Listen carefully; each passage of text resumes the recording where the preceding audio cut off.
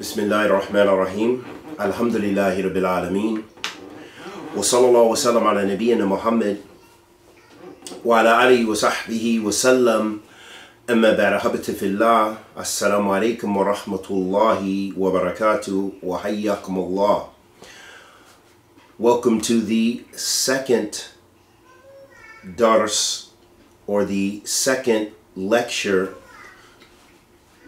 in our study of Usul Sitta and we reach the first principle. We've now finished the introduction and we're going into the first principle from amongst the six principles. And Imam Ibn Abdul Wahhab, Muhammad Ibn Abdul Wahhab, rahimahullah ta'ala, he said, Al Asla al Awwal. He said the first foundation or the first principle. إخلاص الدين لله تعالى وحده لا شريك له وبيان ضده الذي هو الشرك بالله وكون أكثر القرآن في بيان هذا الأصل من وجوه شتى بكلام يفهمه أبلد العامة So the Sheikh mentioned, he said the first principle. He said making the religion sincerely for Allah. So the first principle is making the religion sincerely for Allah, the exalted alone, without any associate, uh, associates and clarification of its opposite, which is shirk with Allah. Here, Habitifillah, it's very important that the Sheikh Muhammad ibn Abdul Wahhab, rahimahullah ta'ala, he makes it clear the first principle uh, in his treatise, which basically everyone should know, and that is having sincere sincerity to Allah subhanahu wa ta'ala. It is ikhlas lillahi ta'ala subhanahu. And it is making the religion solely for Allah subhanahu wa ta'ala, worshiping Allah tabarak wa ta'ala alone, without any partners. And part of this usul or this foundation is also, it also entails clarifying that which is the opposite of it. And that's shirk. And we mentioned uh, a statement of the Sheikh prior to this where he said, أعظم ما أمر الله به هو توحيد.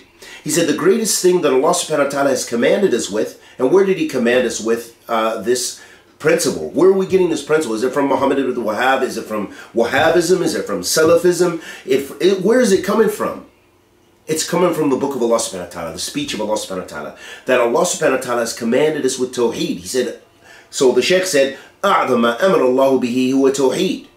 He said the greatest thing Allah subhanahu wa ta'ala has commanded us with is tawheed. وَأَعْظَمْ مَا نَهَى عَنْهُ الشِّرْكِ And the greatest thing or the most grievous thing he, he prohibited us from. He told us to stay away from. He warned us against is shirk, is worshipping other than uh, other than Allah subhanahu wa ta'ala or worshipping someone else or something else along with Allah Azza wa Jal. So Allah subhanahu wa ta'ala does not accept that. Allah subhanahu wa ta'ala says, في كتاب الكريم إن الله لا يغفر أن يشرك به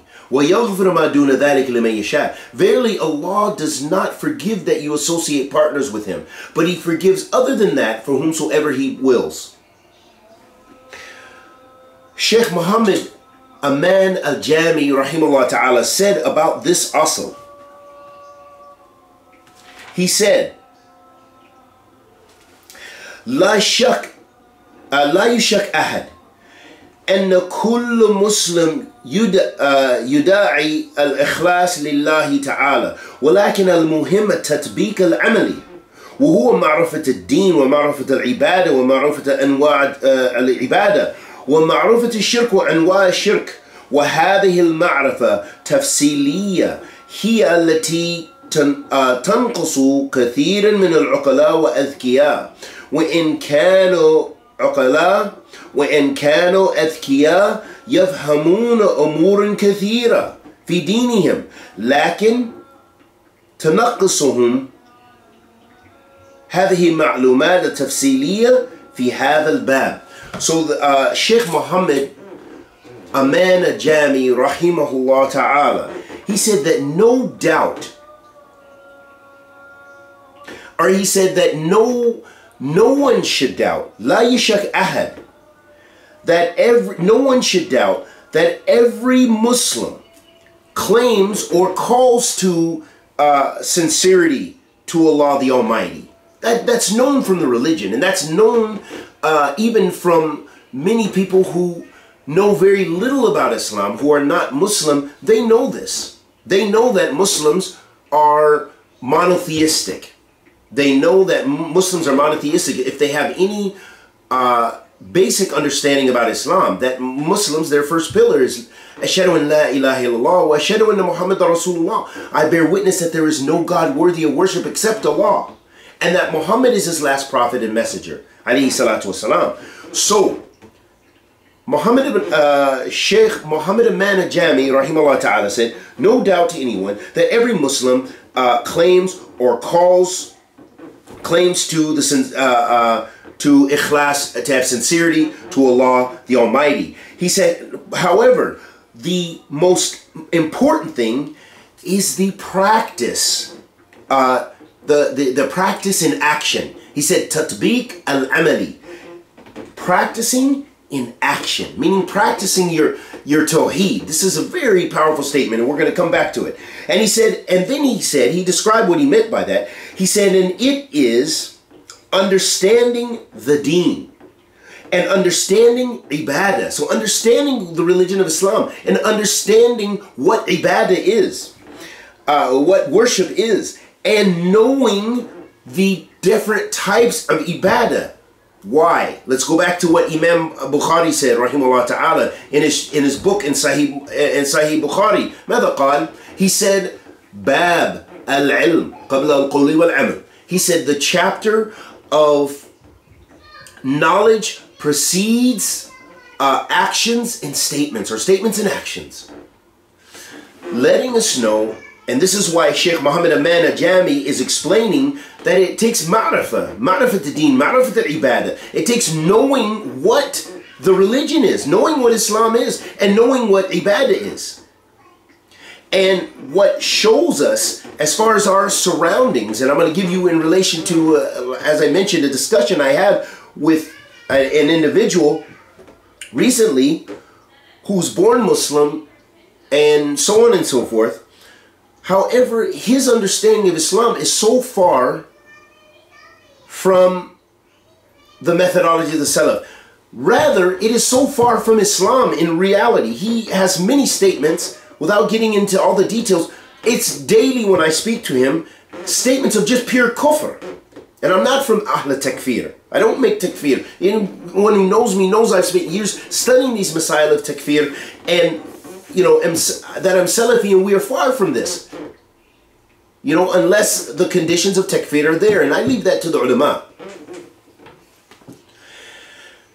And what you see is that what is the nux here is that his understanding of Islam is so far wide there's no ma'rifat the deen. There's no understanding of the deen. And there's truly no understanding of Tawheed. If he understood Tawheed, he wouldn't say and do the things that he does. And just, you know, make almost everything related to creed, making it halal. I mean, making, uh, you know, having his i'tiqad, making the haram halal.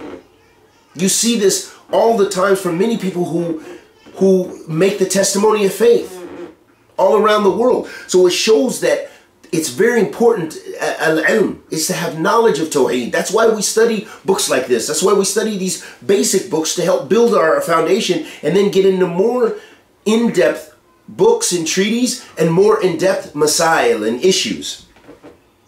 So then he said and so it takes knowing the dean, knowing what worship is, because you have to know what worship is. If you don't know what worship is, it's too easy to violate worship by committing shirk. If you don't know what tawheed is, how can you avoid shirk? If you don't know what tawheed is, how can you correctly worship Allah subhanahu wa ta'ala? Because the your ibadah is based on tawheed. That it is ifradullah bi ibadah that one of the, the, the types of Tawheed is that you single out Allah alone for ibadah. And that's what the Sheikh is making is making ishara to. He's pointing out this point. Why? Because he says, وَمَعْرَفْتَ الْعِبَادَ وَمَعْرَفْتَ أَنْوَاء الْعِبَادَ And it's knowing or understanding the types of ibadah, letting us know that there's various types of ibadah. There is, of course, there's salat, zakat, fasting Ramadan, hajj, uh, tawakkul, tawassul, uh, uh, uh, toba, uh, inaba, isti'ana.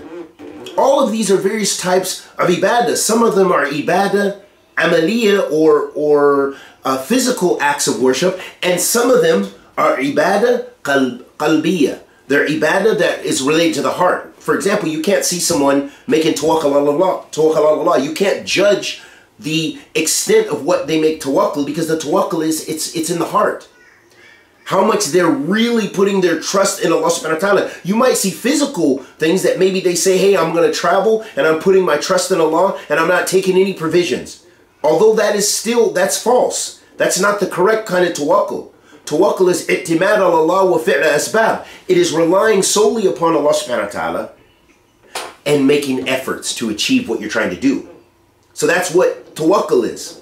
However, you make you can't make judgments really about someone's tawakkul. You know, it's not a physical, tangible thing. It's a it's an act of the heart. Or you can't you don't know how much someone is trusting in Allah. You don't know how much someone is putting their hope and how much someone fears Allah in their heart. You, you can't make those judgments. But we can make general judgments from the zahir, of course, from what we see in the apparent. And we have to in order to uh, how we interact with one another as believers. So he said, mentioning that there's various types of ibadah. And he said it also entails that this, uh, the way you practice this tatbiq al-amali is, is also having knowledge of shirk. What's shirk? You need to know what it is. And the various types of shirk. Okay? وَهَذِهِ مَعْرَفَةً And he said, and this knowledge is detailed.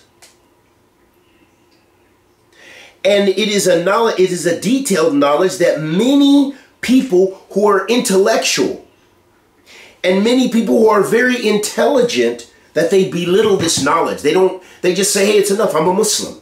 He's a doctor, he's a lawyer, he's a scientist, whatever. And that's beautiful that he's a biologist. It's beautiful that he's doing these things. These are great. A khidmah for humanity. It's a service for humanity. It's knowledge that we need, these sciences. But if it comes totally at the expense of the deen, meaning he knows nothing about the deen, but he knows he's very good at, at studying the silverback gorilla. He knows all the details about their their their the menstruation cycle of the female and how they interact with one another and, and their environment.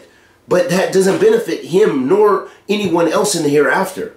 So it's very important that there's there's some detailed knowledge that we all need. We all need uh, this knowledge of Tawheed. And he said, even if these intellectuals and these uh, intelligent people, they understand, some of them, they understand many things of the religion. Fidinihim. They understand there are those who have a lot of knowledge about various issues. I know a particular individual also I interact with regularly who uh, is very strong in the Arabic language. I ask him questions all the time and get help from him about particular issues or or sentences or translations and things like this. Very strong in, in, in Arabic. Very well read. He's read so much tafsir, you know, because he since he was a child, he just was into books and he's very well versed. He can tell you about the different tafsir and their benefits and he's really into those things. But Aqidah and Creed, his minhaj is a, a destructive minhaj, I would just say. You can't even begin to, he's so far and in such a dangerous zone between Islam and Kufr, in fact, because the way he exalts and some of the statements he's made regarding the divine text or regarding the sunnah of the Prophet wasallam, just totally using the intellect, the like the Mu'tazila and these early groups. So you go so far away. Why? Because that knowledge tafsiliyah, the intricate knowledge of Tawheed is not there. He knows many things about other things. Much more, so much stronger than I'll ever be probably in the Arabic language and being able to get to those, go deep into those certain books and things like this.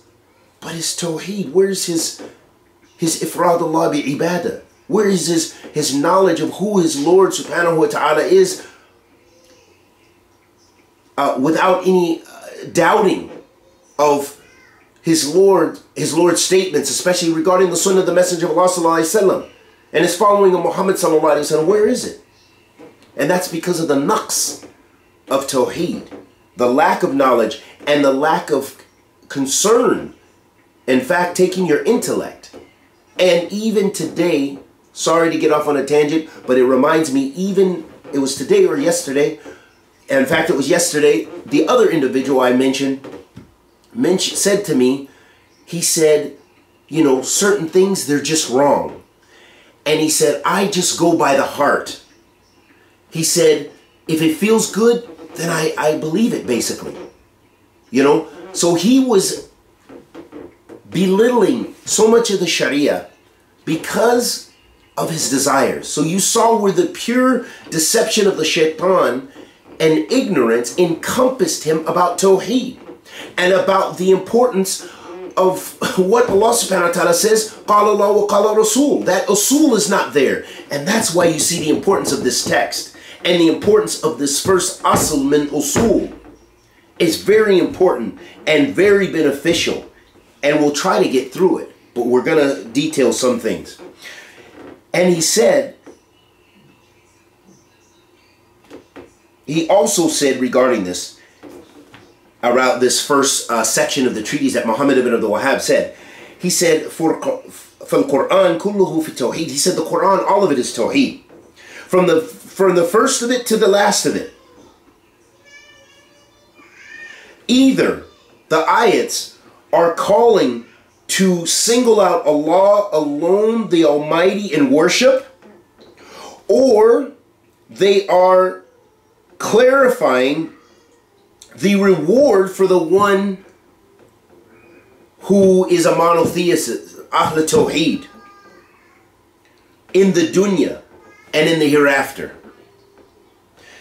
And also how Allah will gives status and takreem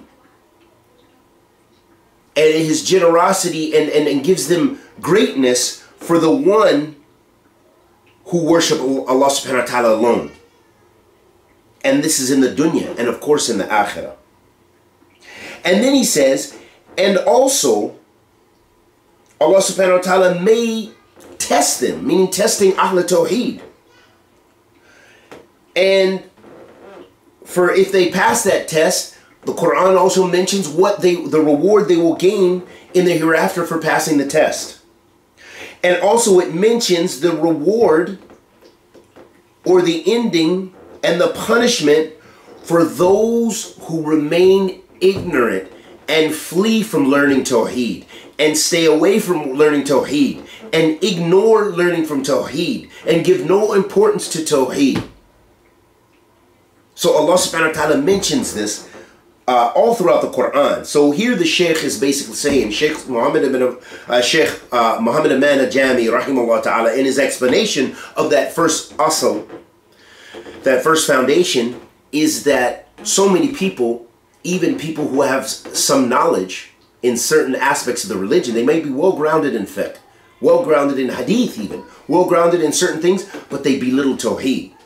And they go astray in tawheed and they don't give tawheed its importance and some of the people to such an extent that they uh, either they leave the deen because of the kufr that they have, and that the one who uh, is totally uh, away from Tawheed, they, they stay far from Tawheed, then this person, uh, you know, Allah subhanahu wa ta'ala mentions about them that they will have a severe torment in the hereafter.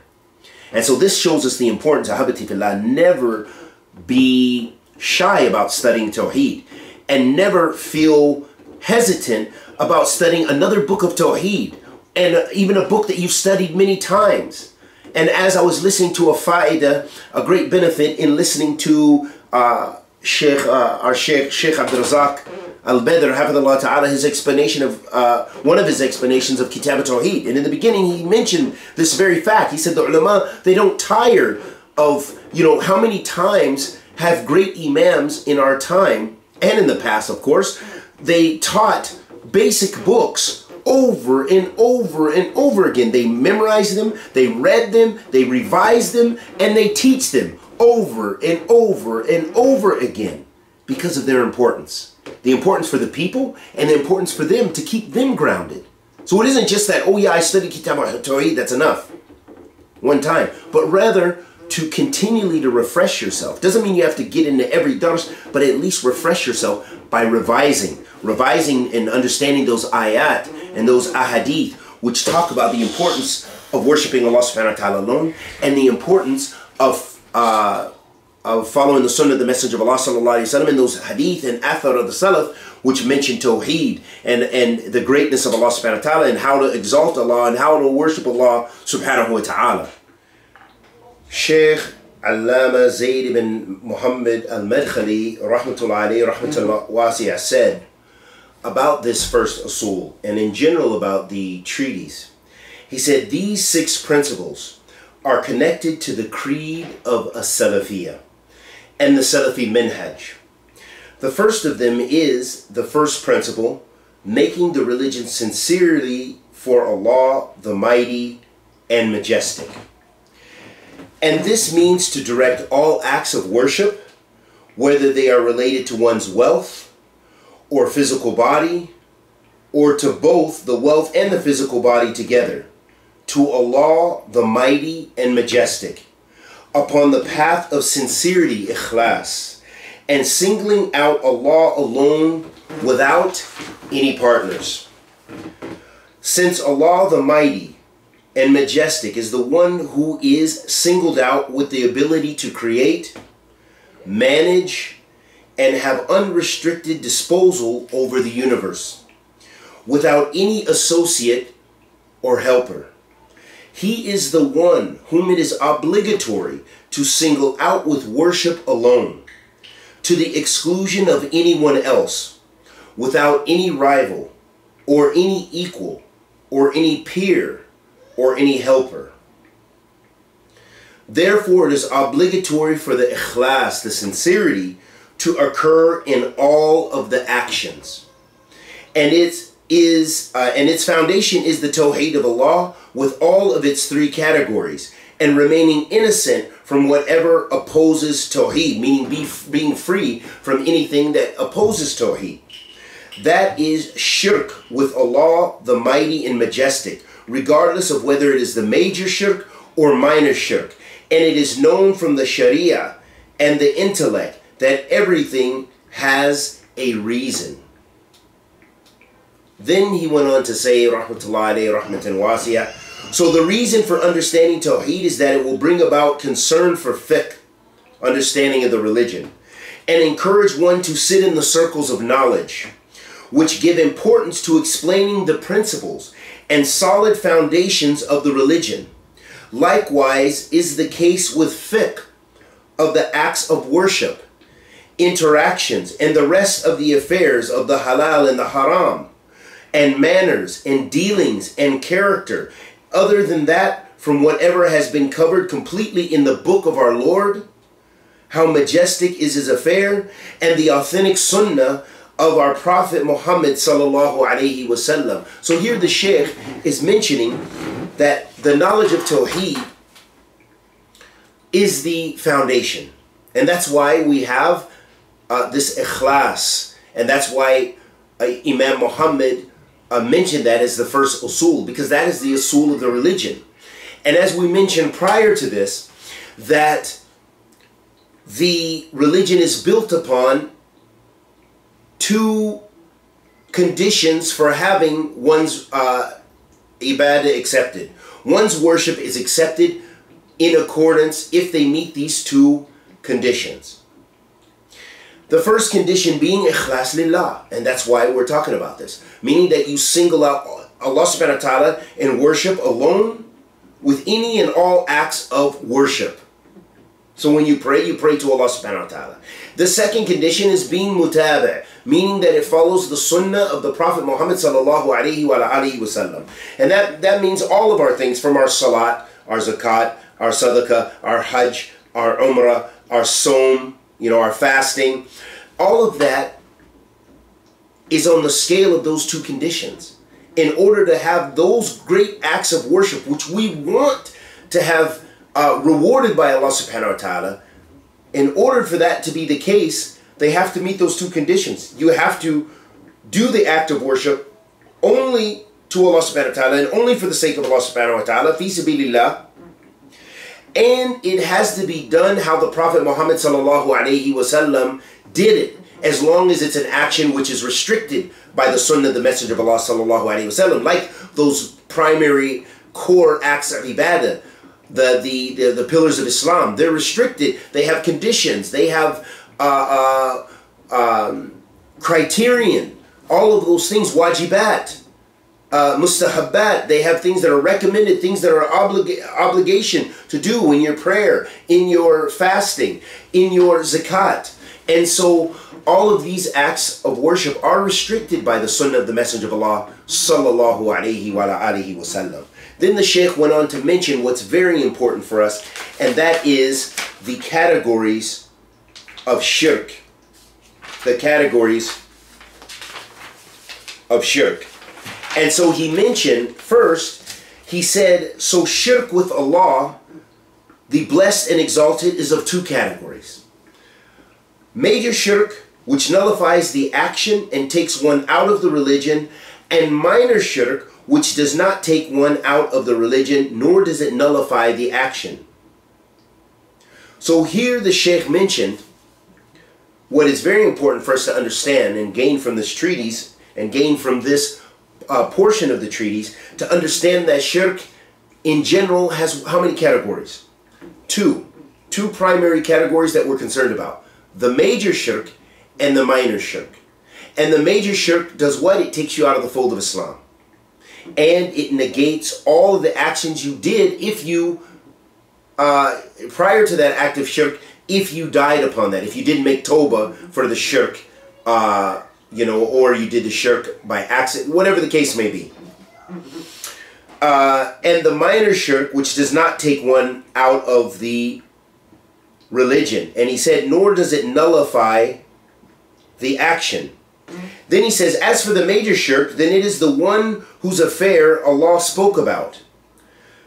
And he said, he mentioned the ayat that we mentioned, in the law and yushrik bihi wa ma duna dhalika liman yasha. Indeed, Allah does not forgive that others be, asso- uh, be associated with Him. But He forgives whatever is below that or uh, whatever is other than that for whomsoever He wills. And that's in Surah An-Nisa, verse 48. And then he said, the general rule concerning major shirk is that when the servant directs something from amongst the acts of worship to other than Allah, the mighty and majestic, or when he directs it to Allah and to other than Allah along with him, whether it be a supplication, a dua, or seeking aid, isti'ana, as we talked about, or seeking rescue or salvation, istighatha, or sacrificing, a dhubh, or taking an oath, another, or hope, having raja, or reliance, tawakkul, or fear, khawf, or other than that from the various types of worship, then whosoever directs something from that to other than Allah, then he, he is a mushrik, kafir, disbeliever, after the evidence from the revelation has been established upon him. So the Sheikh mentioned in the beginning of that, what did he say? So it's very important to show and distinguish our minhaj from the minhaj of the takfiris. He mentioned and he qualified it very openly. And he said, and the general rule, and what does this go back to, Ahabitafillah? It goes back to the conditions of takfir. And it goes back to the principles of takfir. And it goes back to the types of takfir. Takfir mutlaq wa takfir al-ma'ayyan.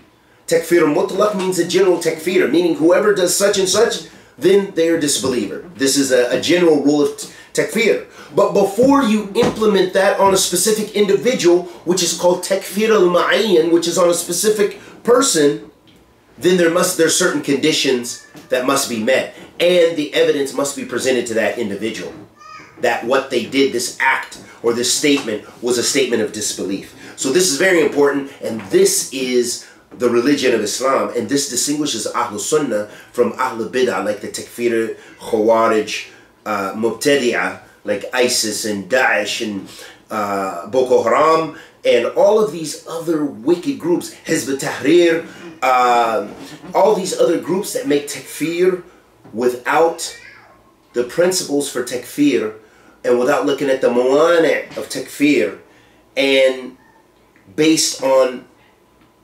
often their own desires and great evil and spreading evil and fitna around the earth.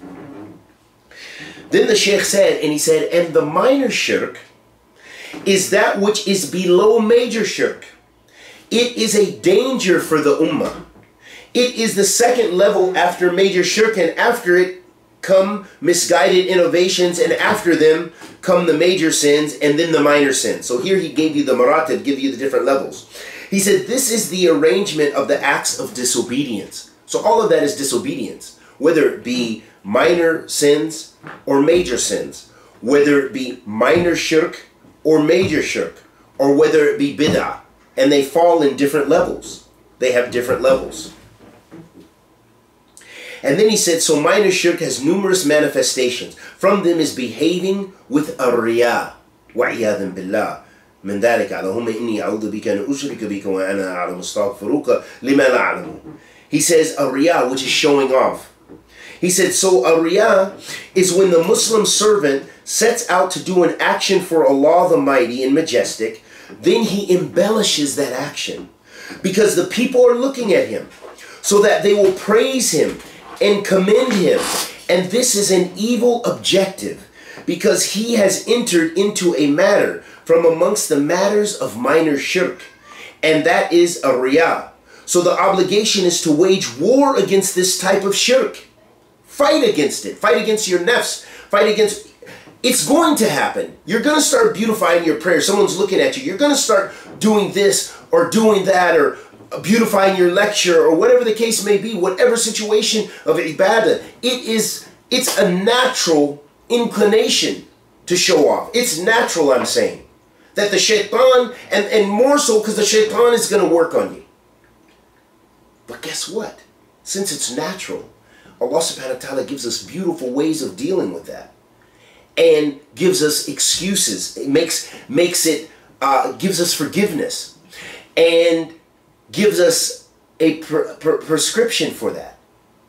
The sunnah of the Messenger of Allah sallallahu alaihi wasallam. Dua, certain dua that we can do to come back. Yeah, I was just showing off. Let me let me straighten that. That's the beauty of Islam. So never be too soft on yourself and never be too hard on yourself. Because what I notice from a lot of the youth is they don't understand these things. They don't understand anything about the mercy of Allah subhanahu wa ta'ala. And yes, we need to fear the punishment of Allah subhanahu wa ta'ala. But some of the people are so strict and so uh, because they don't have fiqh fi deen. They don't have understanding of the religion and knowing more about their Lord and that their Lord subhanahu wa ta'ala is Ar-Rahman Ar-Rahim. At-Tawwab Ar-Rahim. He subhanahu wa ta'ala loves his servants and he is merciful to his servants and he accepts the repentance of his servants. And that you can come back to him. And that not everything is so shadid that you just read it in a book and then your whole dunya is destroyed. No. But Allah subhanahu wa ta'ala has mercy and you just have to know to come back to him. And when you see yourself falling into a sin and you see yourself showing off, straighten it up immediately. Try to clean that up right now and get back on track. Because the shaitan wants you to stop the act of worship. And the ulama, they spend, Ibn Rajab speaks about this in his explanation of Arba'in Nawawi in the hadith, in the Ma'amal bin Niyat. Verily, actions are by the intentions. Okay? And he speaks about this, the levels how riba, uh, uh, uh, uh, riyah, how this minor shirk creeps into the ibadah of the servant, and how the servant should fight that. And it is a greater sin to stop. For example, let's give an example so because I'm rambling and I want this to be clear. An example would be the student of knowledge giving a lecture, the imam giving a khutbah. He's given a khutbah and the people seem amazed by him. So he begins to beautify it even more. You know, he's feeling it. He likes that amazement a little bit. So then it's on that imam when he recognizes that to then internally purify his intention. But not to stop beautifying that speech for the sake of Allah Azza wa but just purify it so it is not for the sake of the people. So it is for the sake of delivering that message in accordance with the sunnah of the Messenger of Allah sallallahu alaihi wasallam to guide the people to the sunnah of the Messenger of Allah sallallahu alaihi wasallam to the book of Allah and the sunnah of the Messenger of Allah sallallahu alaihi wasallam. So this is very important that yeah, it's going to come to you. And it runs through your blood. But you can deal with that. Deal with that by correcting your intention. And there's certain supplications, and he's going to get into some of those supplications very shortly. And then he says, so the obligation is to wage war against this type of shirk. And that is done by directing all of the acts of worship to Allah, the mighty and majestic, and by distancing, self, uh, distancing oneself from the vile objectives. Don't call to call to yourself. Don't call to call to your sect. Don't call to call to your clique. Don't call to, to call to your his to your husband, your hizbiyah. Oh, our our group is, is is the only ones we own the Dawah to Ahl Sunnah. We own Dawah to Salafiyah. We the Salafis. We this. We that. No. Call to the Book of Allah call to the Sunnah of the Messenger of Allah sallallahu alaihi wasallam. Make istighfar. Allah will raise you up if you're worthy of being raised. Allah will give you those benefits. And so that is the difficult thing for all of us to remember and all of us to get ourselves back on track. We need to wage war against this shirk. And so he said, by distancing oneself from vile objectives, such as when one desires that the people praise and commend him, and whatever resembles that from whatever enters into worship. So this type of shirk has taken overtaken many of the people who have fallen into it. Due to this, there has come an athar from the Prophet ﷺ directing towards a dhikr, a remembrance, by which the servant will be able to fortify himself against the destruction of this type of riyah. And it is his alayhi salatu wasalam saying, O Allah, I seek refuge with you from committing shirk and with you whilst I know and I seek your forgiveness for that which I do not know. And this is uh, Sahih, uh, related by Ibn Abi Shayba in his book Al-Musannaf, Al-Haythami, and, and Majmu' Majmu' Al-Zawaid, Abu Ya'la in Musnad, and Al-Bukhari in Adab Al-Mufrad. Uh, and so it's mentioned in those books. And it's an authentic hadith of the Messenger of Allah meaning it's an authentic supplication of the Messenger of Allah sallallahu alaihi wasallam. And this is so important. So that means when before your acts of worship, even perhaps during your act of worship, say the supplication. Get get back on track and ask Allah for forgiveness. The supplication is as follows: Allahumma inni a'udhu bika an ushrika bika wa ana a'lamu wa astaghfiruka lima la a'lamu. O Allah, I seek refuge with you from committing shirk with you.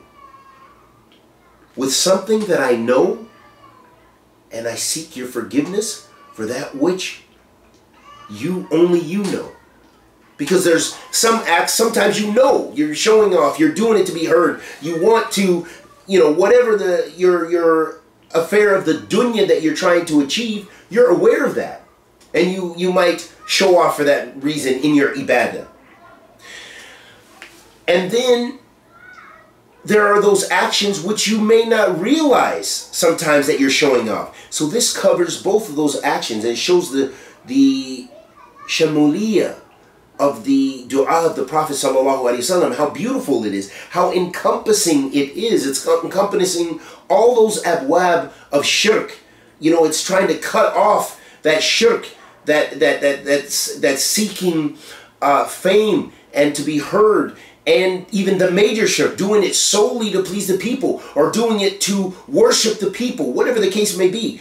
And in the next sitting, we're going to go into detail. We're going to mention a, a very uh, hadith, a very beautiful hadith of the Messenger of Allah Sallallahu Alaihi Wasallam, which is so powerful. And I remember once I related this to one in the gathering of the company of some of my brothers and a man who I know as a strong warrior physically.